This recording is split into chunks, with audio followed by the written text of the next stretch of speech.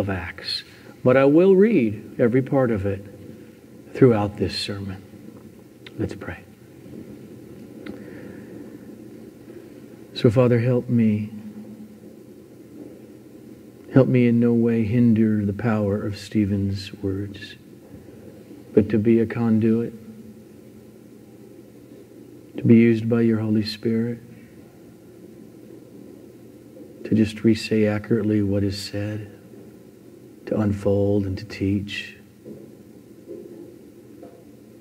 And above all, as Stephen was filled with the Spirit, would you fill us and continue to fill us in the midst of this message to the glory of your name and to the help of our souls. Amen. Israel and the Jewish people from Abraham on are no better than any other people. God did not choose Abraham because he saw, aha, that guy, he's worthy. There's a great man. He's better than anybody else. God chose Abraham because he chose Abraham. He had a purpose, a purpose from before creation. The fall would happen, and all of Genesis 1 to 11 would happen. And he had a purpose then in creating for himself, out of all the peoples of the world, to create a people so that through them their history would be told and they would just be the lesson book, the teaching, not only to themselves, but to all the peoples of the world that everybody's nature is sinful, that the Jew and all the non Jews are rebellious toward the one true, merciful God. To teach that the truth that all have sinned and fallen short of the glory of God, that all have been born into sin and all are under God's wrath. And Stephen drives us home in this sermon as he stands before the Jewish high court, the Sanhedrin. And in it, as we go through it, there is a lesson. It's not just for the Jewish leadership who is hearing this, who are in charge of the massive, beautiful temple in which they are residing at the moment, but it is for every religious people throughout the ages. And here's the lesson watch out. Watch out that your heart does not deceive you into thinking because I do religious things, functions, that I am okay with God. While doing that, your heart is hardened. You're stiff necked and still constantly rebellious to God's mercy. And that's the second lesson as we go throughout. God's mercy keeps ringing through Stephen's sermon. God is patiently merciful to Israel, to their sin, and forgiving and thus to us. And therefore, we are to learn the lesson to allow His warnings and His outstretched arm of mercy through Jesus Christ to bring us to repentance again and again and again. We'll see that one of the signs of rebelliousness towards God, it would be to focus and to trust in one's own religious activity. To focus and to trust in religious structures and organizations and outward acts that don't flow from a humble, trusting, faith filled heart toward God. If you know church history, then you know that what Stephen said to the Sanhedrin could very easily have been said to popes, to bishops, to clergy, and to masses of baptized persons. You stiff necked people, uncircumcised in heart and ears, you always resist the Holy Spirit. And so as we go to this sermon, remember the context. Stephen was preaching to his fellow Jews, and then they can't refute him because Stephen has a scripture on his side. And then they accuse him falsely. And here's the falsehood we saw last week. Not that the temple would come down, not that Moses would change many of the customs, but the falsehood is Stephen is against God. He's against the law. He is against this temple. Look back at verses 13 and 14 of chapter 6. They brought Stephen in now before the Sanhedrin who murdered Jesus. And it says, they set up false witnesses who said, This man never ceases to speak words against this holy place and the law, for we have heard him say that this Jesus of Nazareth will destroy this place, the temple, and will change the customs that Moses delivered to us.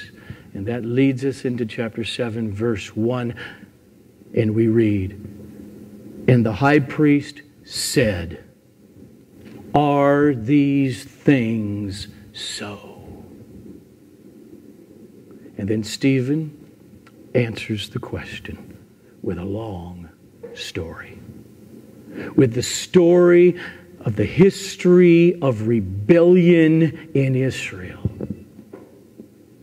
the story of their hard heartedness that was constantly resisting God. And by the end of this sermon, it is clear that Stephen's answer to the Sanhedrin is you Jewish leaders are the ones who are against God. You're the ones who are against the law. You're the ones who are against God's purpose in this temple. In the tradition and in the history of our people, you are the ones who persecute God's messengers.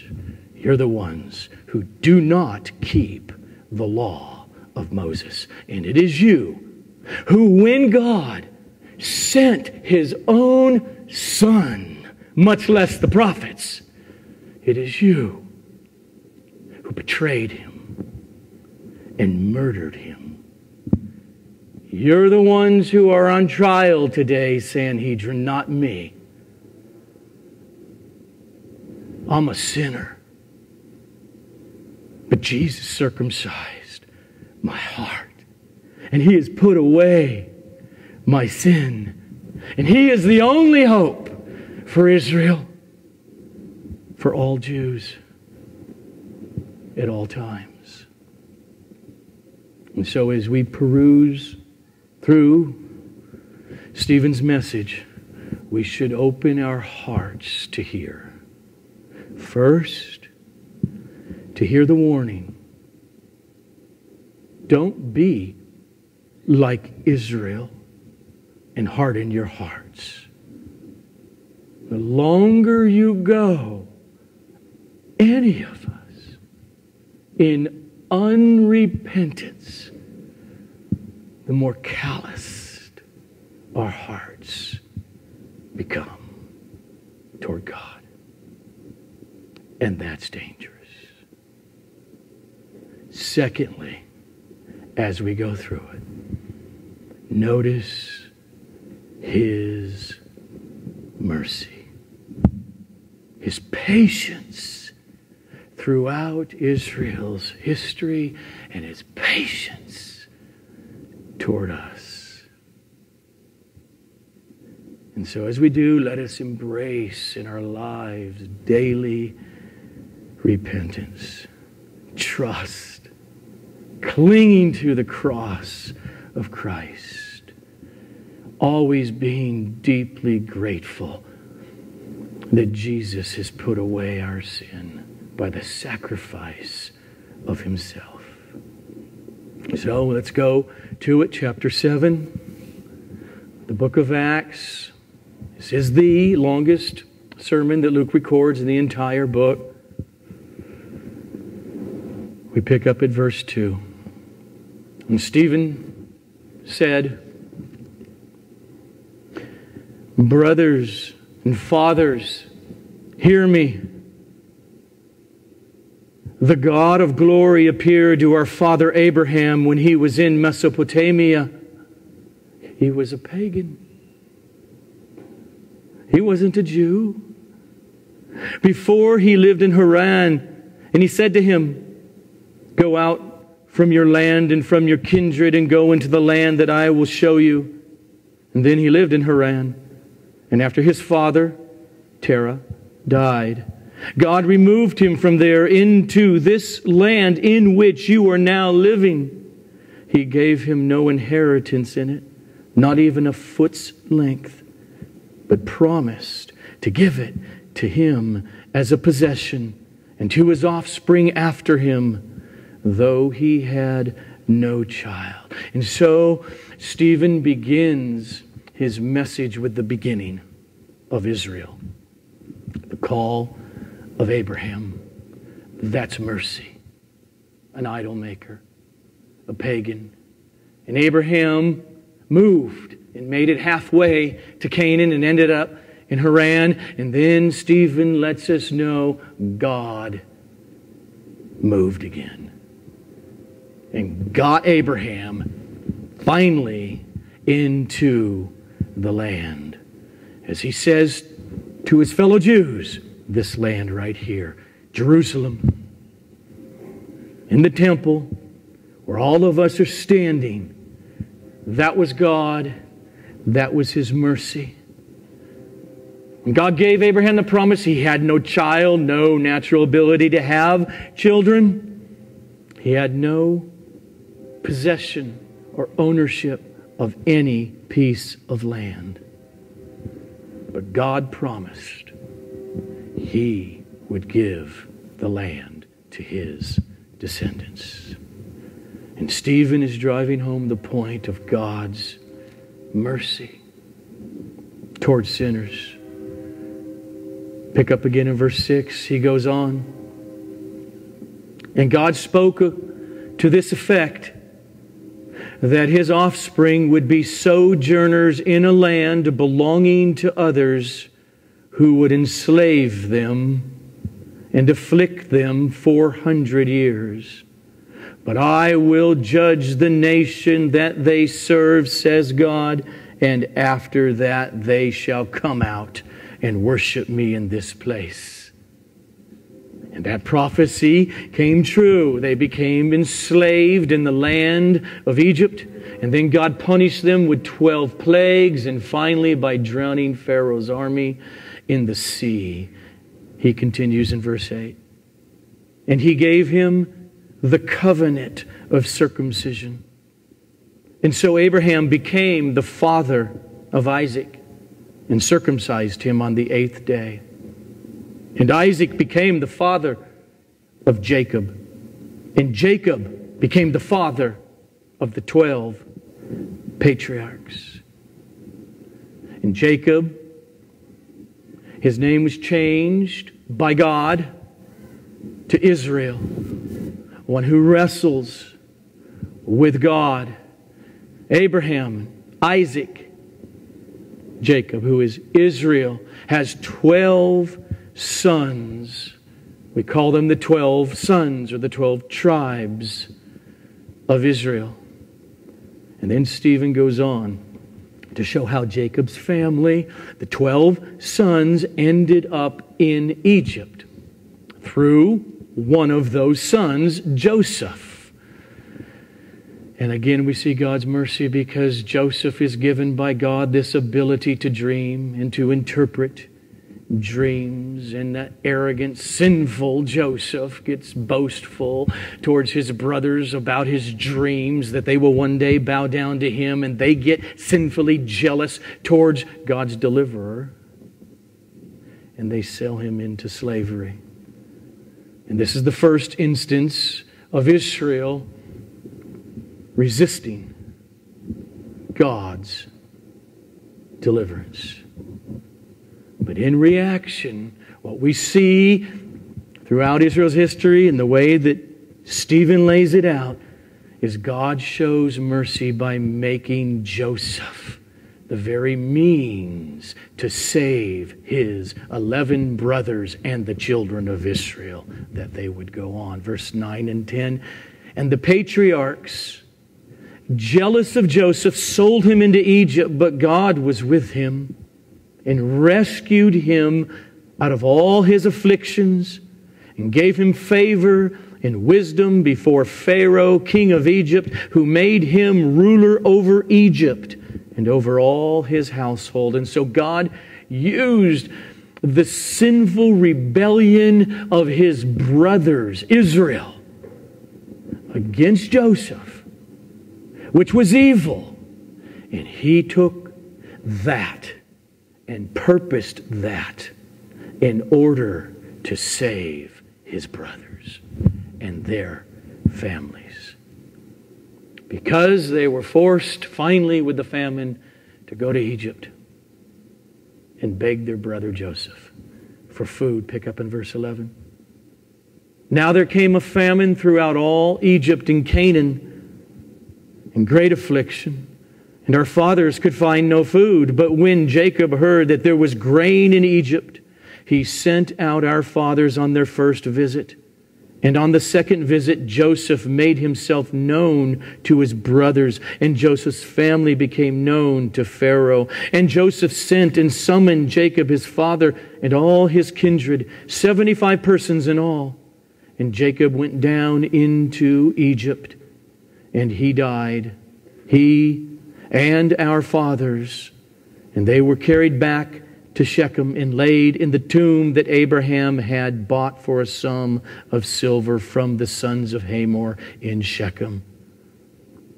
And then Stephen flips from the book of Genesis to the book of Exodus, jumps over 400 years, and he comes to the next deliverer God's mercy through Moses. But as the time of the promise drew near, which God had granted to Abraham, the people increased and multiplied in Egypt until there arose over Egypt another king who did not know Joseph. He dwelt shrewdly with our race and forced our fathers to expose their infants murdering them so that they would not be kept alive. At this time, Moses was born, and he was beautiful in God's sight. And as he was brought up for three months in his father's house, and when he was exposed, Pharaoh's daughter adopted him and brought him up as her own son.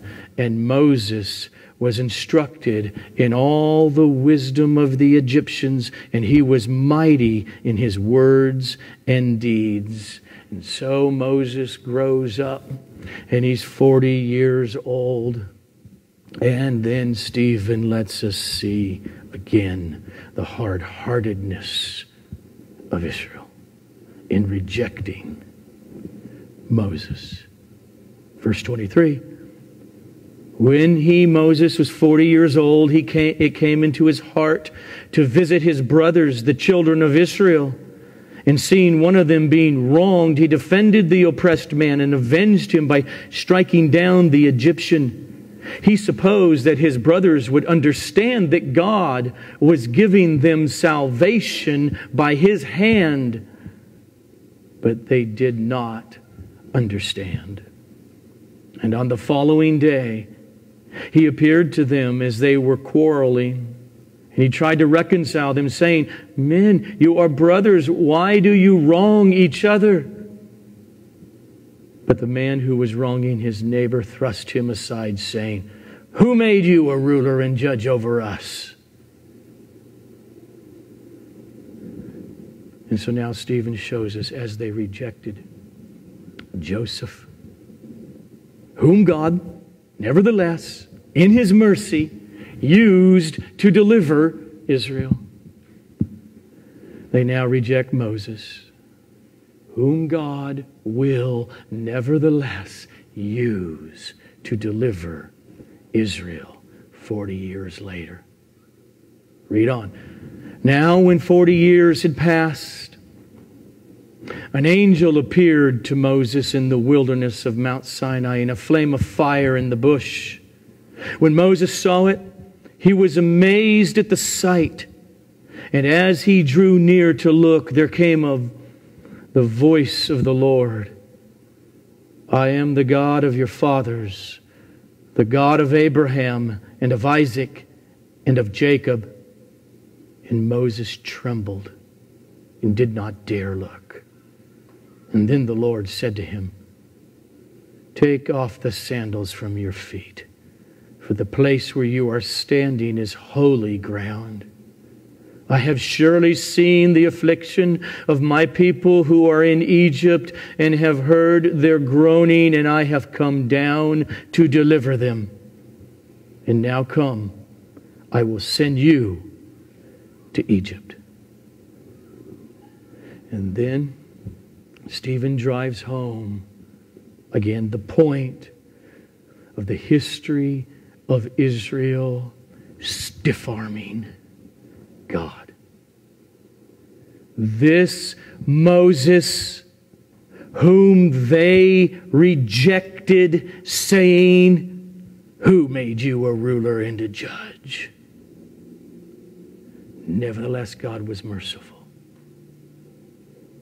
This man, God sent as both ruler and redeemer by the hand of the angel who appeared to him in the bush. This man led them out, performing wonders and signs in Egypt and at the Red Sea and in the wilderness for 40 years. And now, in the midst of Stephen's sermon, right here, he slips in Jesus of Nazareth. And that is what he's doing. Verse 37. This is the Moses who said to the Israelites, God will raise up for you a prophet like me from your brothers. Stephen will conclude the sermon essentially this way That prophet Moses spoke about, you betrayed and murdered. But back to the depths of Israel's sin in the wilderness, Stephen goes on. Verse 38.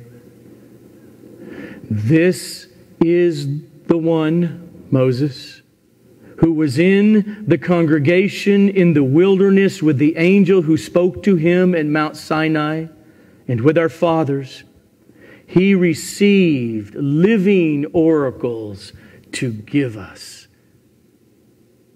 Our fathers refused to obey him but thrust him aside, and in their hearts they turned to Egypt, saying to Aaron, Make for us gods who will go before us. As for this Moses who led us out from the land of Egypt, we do not know what has become of him. And they made a calf in those days and offered a sacrifice to the idol. And were rejoicing in the works of their hands.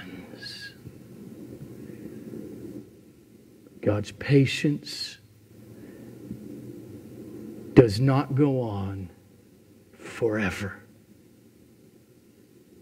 His patience came to an end for many of them. Verse 42. But God turned away and gave them over to worship the host of heaven. As it is written in the book of the prophets. And then he quotes Amos 5. Did you bring to me slain beasts and sacrifices during the 40 years in the wilderness, O house of Israel?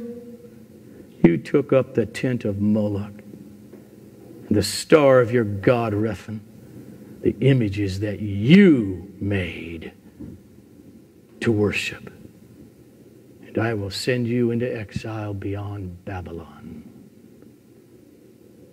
Since they rejected the true God, worship of the true God, and they wanted to make with their own hands their own idols to worship. God gave them over to do just that to worship demons. Molech and the god Rephan. They rejected God again and again and worshiped the creation rather than the creator. And that is the indictment of their own prophets. And what a warning for those who are children of Abraham, Isaac, and Jacob. What a privilege. And what a warning this is for all those who are fortunate enough to be raised up in God's community, the church, Christian families, and then to choose to worship worldliness. And how deceptive it is to think, I'm just going to do this for a little while sow my wild oats. Then later I'll give my heart to the Lord. You don't know the one true God. He gave them up to hard heartedness. Stephen lets us know he did not give up on Israel as a whole. He gave them the law, the Ten Commandments. He instructed them meticulously on how to construct the tent, the, the tabernacle, and everything that went inside of the tabernacle the Ark of the Covenant, the mercy seat. And he laid out the priesthood and the sacrificial system Verse 44.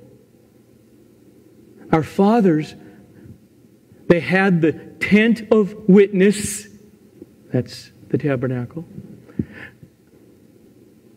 had the tent of witness in the wilderness, just as he who spoke to Moses directed him to make it according to the pattern that he had seen. And then he just leads us right on through. 40 years are over. Joshua leads the children of Israel into that promised land where Abraham was a sojourner. And he causes them to conquer it. And they brought the tabernacle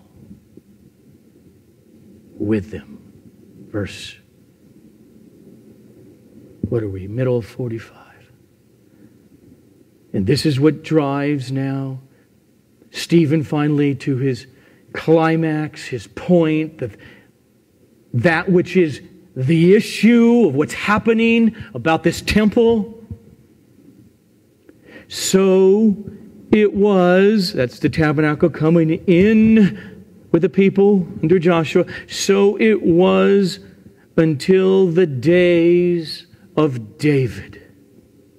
So he just jumped through over 200 years of these judges, and he goes to the second king of Israel. And so it was until the days of David, who found favor in the sight of God, and he asked to find a dwelling place for the God of Jacob, not just a movable tent. And God said, No, your hands are too bloody, David. But your son Solomon will. But it was Solomon who built a house for him. And so, 900 and something years before this sermon of Stephen's, Solomon built God's house. The temple, the massive, expensive, beautiful temple, much more beautiful than that movable tent that they had been using for centuries. And it is the temple that these Jewish leaders that he is before at this moment while he preaches, they took so much pride in. And many of them made so much money from it. It's the temple that Jesus said he would destroy And in three days rebuild it.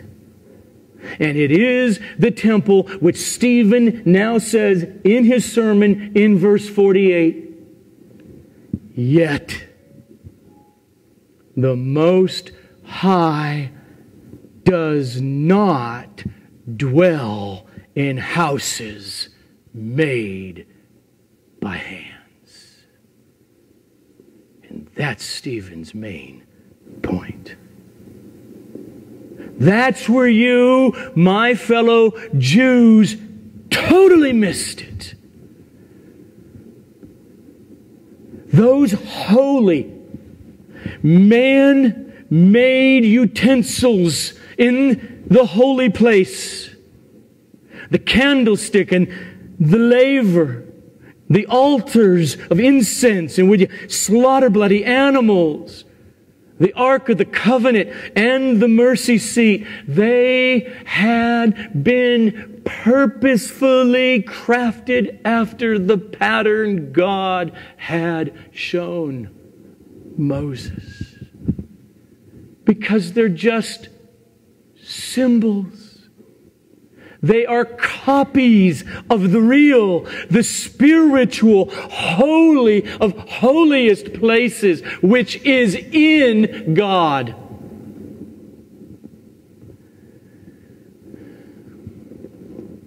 God's presence.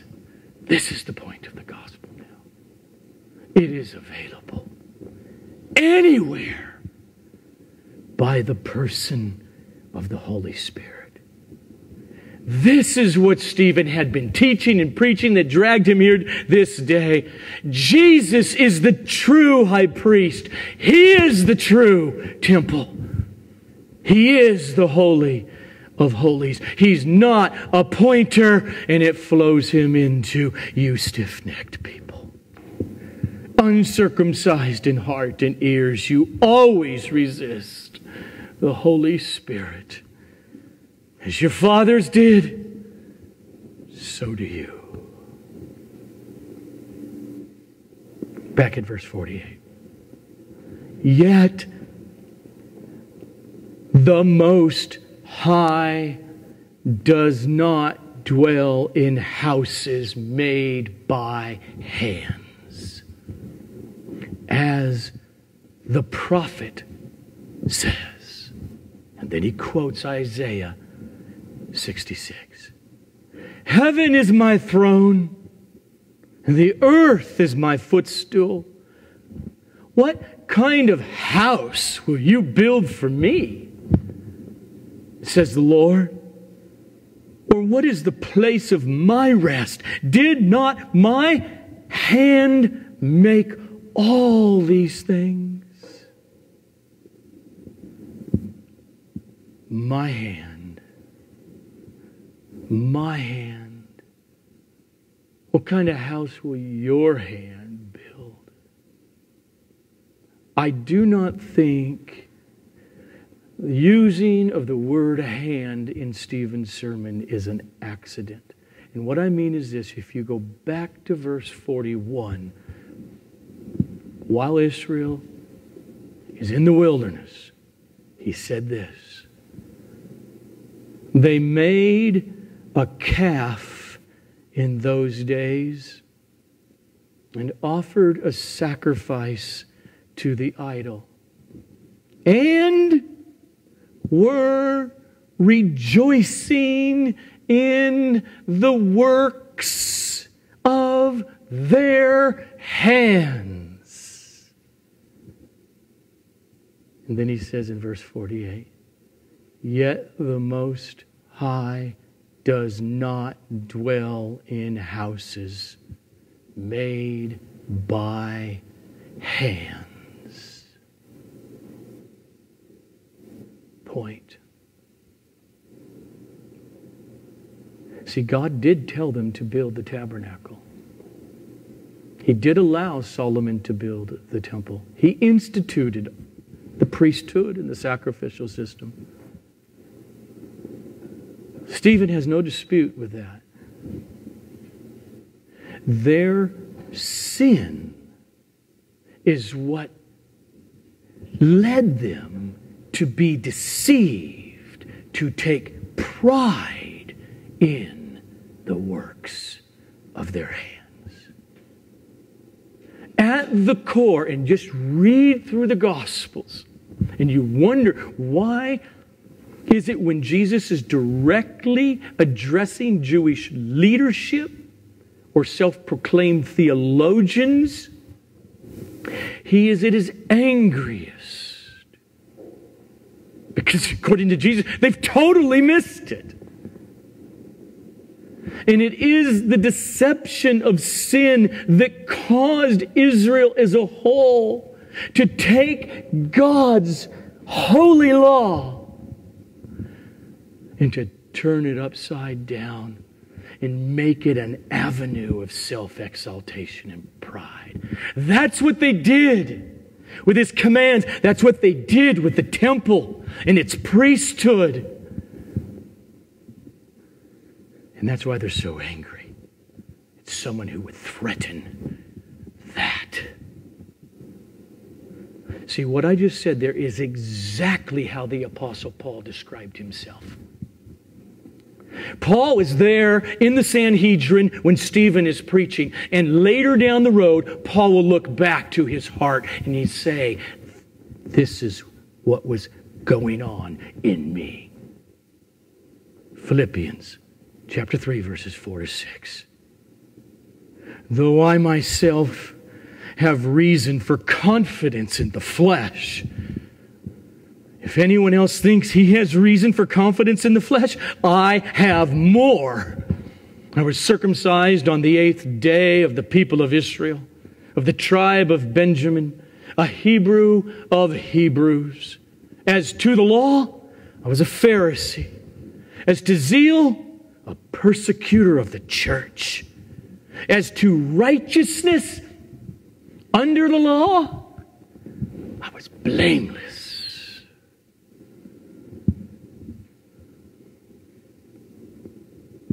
That's what blindness led to in Saul of Tarsus. The temple and the sacrifices became a means for their own religious pride. And this is what the New Testament calls the, the, the very essence of the works of the law when it takes God's pure, holy temple and His Word and His commandments and it uses them as a stepping stone to self exaltation instead of repentance and contriteness before a loving and a merciful God towards sinners.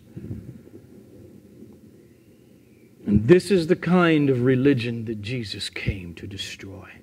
He came to suffer and to die as the sacrifice, and to rise from the dead that he would construct a temple made without hands, eternal in the heavens in God.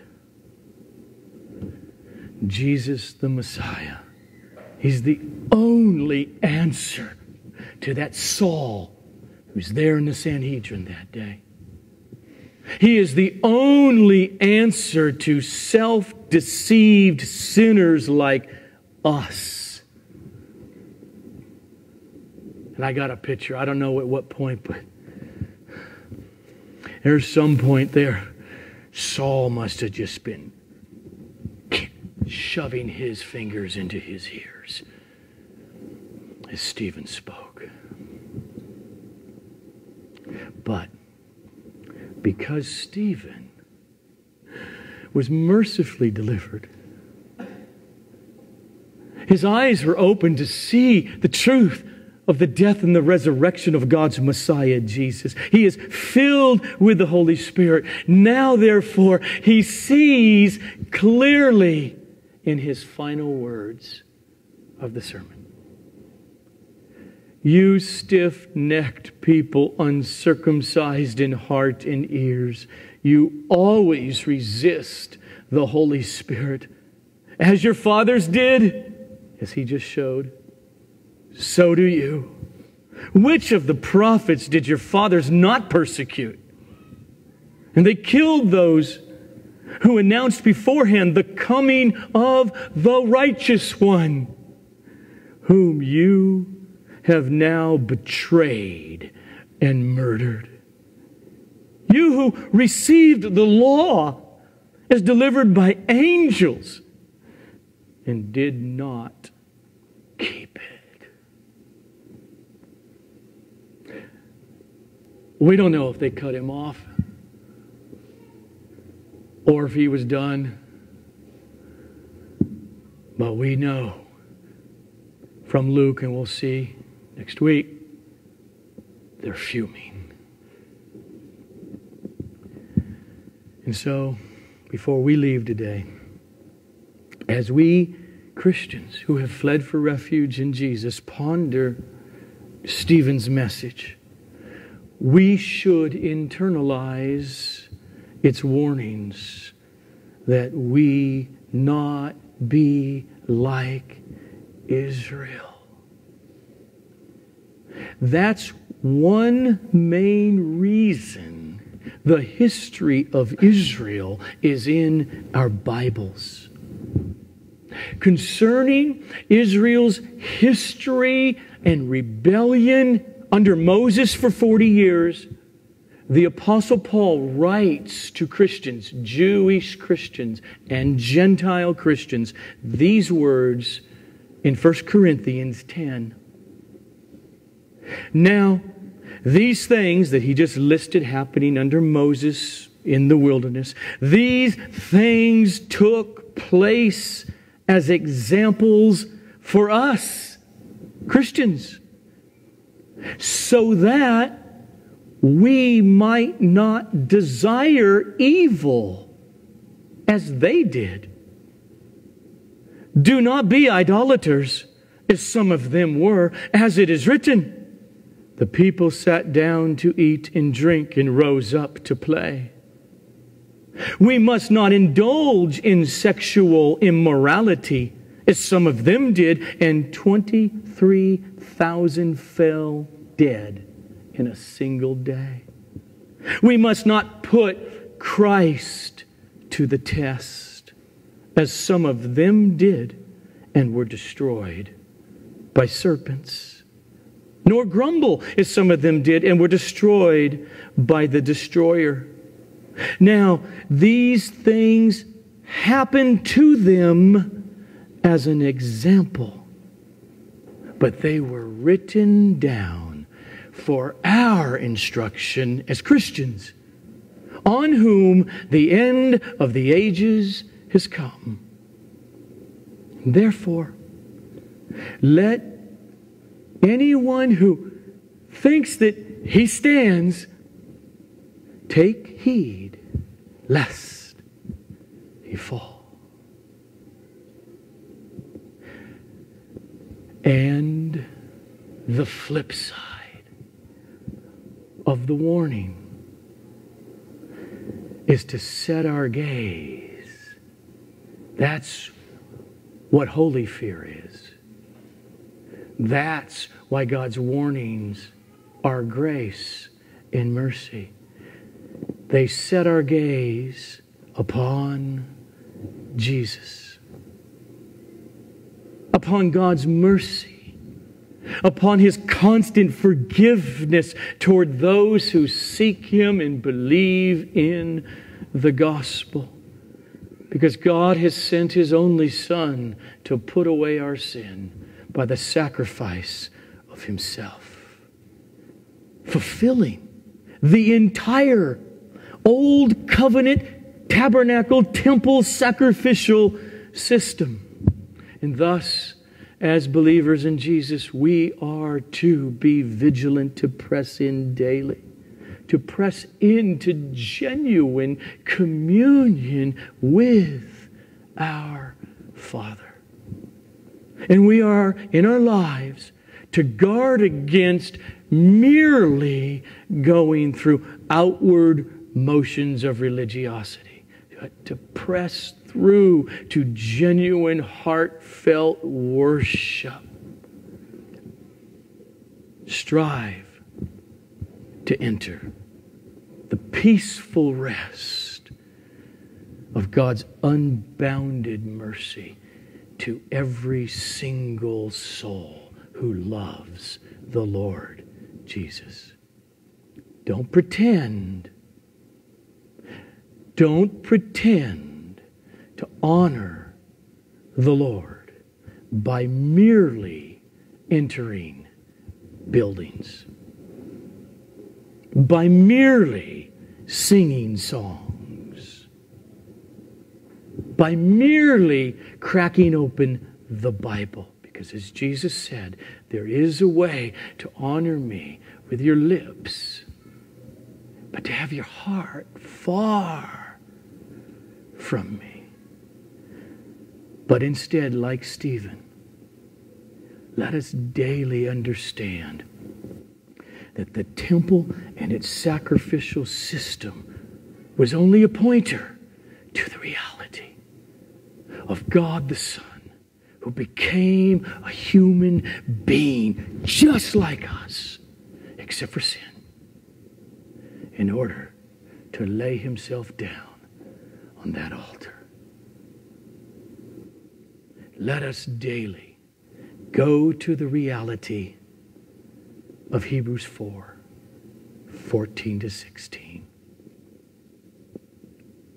Since then, dear believer, we have a great high priest who has passed through the heavens. That is, Jesus the Son of God. Let us hold fast our confession. For we do not have a high priest who is unable to sympathize with our weaknesses, but one who in every respect has been tempted as we are, yet without sin. And so, let us then, with confidence, draw near to the throne of grace that we may receive mercy and will find grace to help in time of need. Let's pray.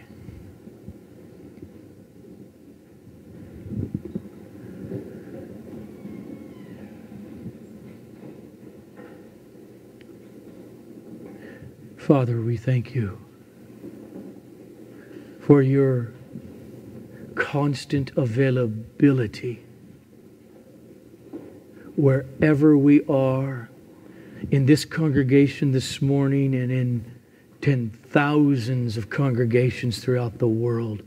The Holy of Holies is there. It's here and there and here. And together we come trusting the gospel, knowing that as we confess our sins, you are faithful and righteous to forgive us our sins and to cleanse us from all unrighteousness. For our great Savior has entered here before us, putting away our sin by the sacrifice of Himself. And so, in all the needs represented here in this congregation, in work related, family related, sin related, future related. Oh, would you pour out your grace and your guidance and your leading and continue to glorify your name by causing us to walk by your Spirit. Amen.